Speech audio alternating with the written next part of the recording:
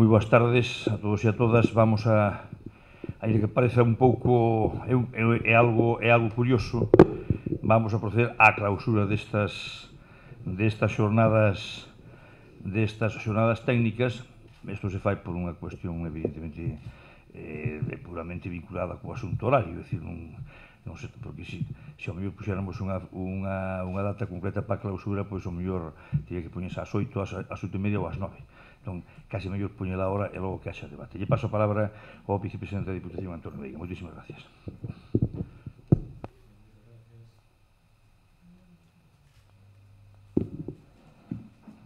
Moitas gracias, señor alcalde.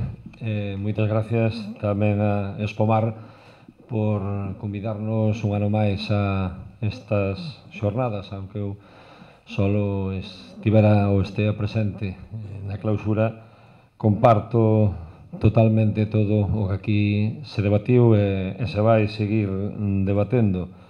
Eu sempre pido, esta Catalina de Testigos, sempre pido as conclusións desas xornadas que son moi interesantes. Eh, creo que todos que estamos aquí eh, non diferimos nunca na, nas conclusións que, que se sacan dos debates que hai no sector con técnicos. Outra cousa, eh, e xuxa a labor de todos nós, é, esas conclusións levalas a bon porto, e nunca mellor dito.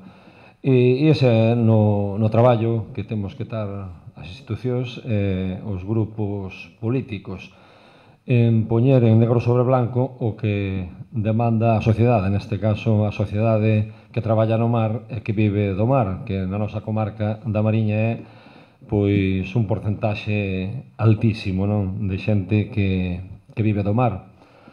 Eh, non só que vive do mar, senón que lle fai vivir eh, a outra xente. Esta comarca, decímolo sempre, que non se entendería eh, sin, sin a pesca, sin os seus portos e sin os mariñeiros eh, que os tempos non son doados, sabémolos todos, non son doados pos armadores, non son doados pos mariñeiros, non son doados eh, pos exportadores, en definitiva, para todo o sector. Eu entendo que solucións si, ha, si que hai, non? Eu o ano pasado aquí falaba dun lobby mariñeiro ou dun lobby da mariña, Os problemas da Mariña, desde logo, que non son alleos aos que poden ter pois no, no sur do país ou que poden ter en Coruña ou na costa da Morte. Chamámoslle lobby mariñeiro ou como queiramos, pero temos que facer eh, piña ao redor deste sector primario eh, tan importante e básico eh, para, para a nosa vida. Non?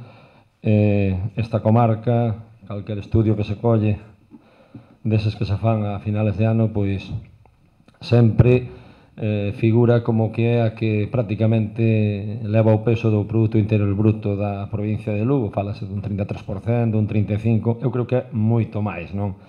A parte do, dos datos económicos que haxa, é moito máis.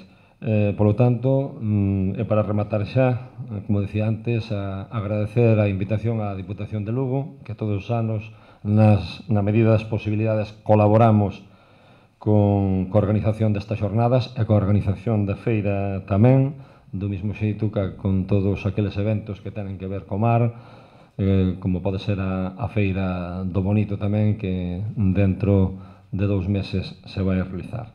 Por lo tanto, nada máis, eh, moitas gracias eh, e a seguir traballando e implicándonos todos neste sector. Thank you.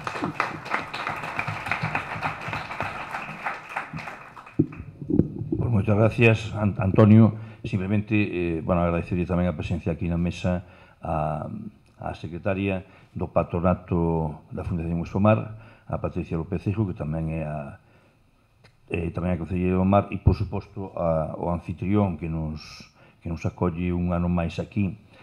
Eh, o anfitrión, o representante da entidade anfitriona a Basilio, que representa a cofardía, que sabemos bueno, pues que este local está sempre a disposición da eh, eh, Fundación Somar para eventos deste tipo. Eu simplemente faigo unha reflexión en voz alta e creo que isto que quero, quero francamente que non é malo. Creo que eh, que, que o sector se xunte para e, e, e para debatir e para falar dos seus asuntos non é non é malo, ao contrario, eu creo que é bon, creo que é moi positivo.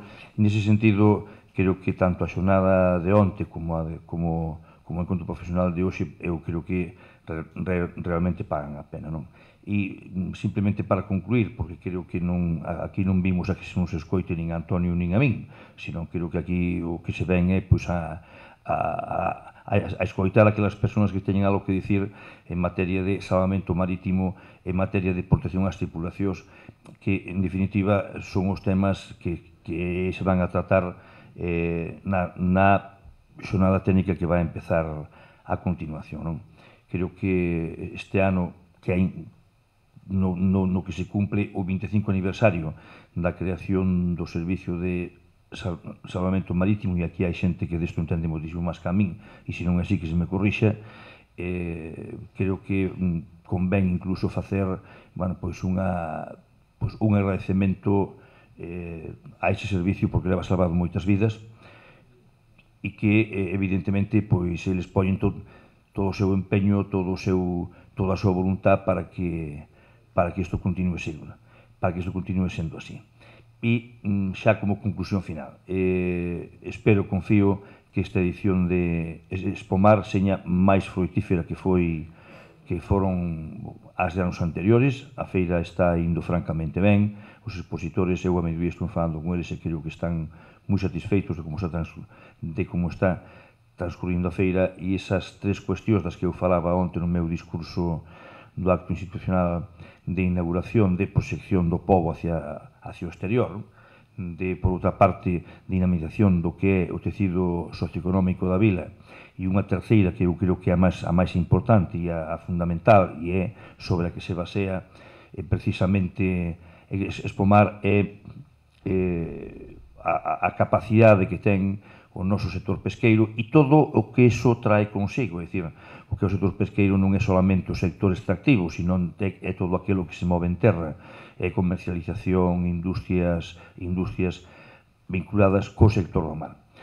E nada, eu con isto simplemente remato, agradecer a colaboración que a Diputación Provincial ten para que estas xornadas poden celebrarse, agradecerlle a Antonio, bueno, pues, temos temos compartido momentos momentos importantes noutros e noutros ámbitos, temos unha relación personal, bueno, pois, creo que boa, xa desde hai anos, independientemente de que cada un poida ter a súa opinión ao respecto sobre outros temas, pero, bueno, eso non enturbia para nada precisamente outros temas, non? que eu creo que, creo, que, creo, creo que é como se debe de entender a, a vida política.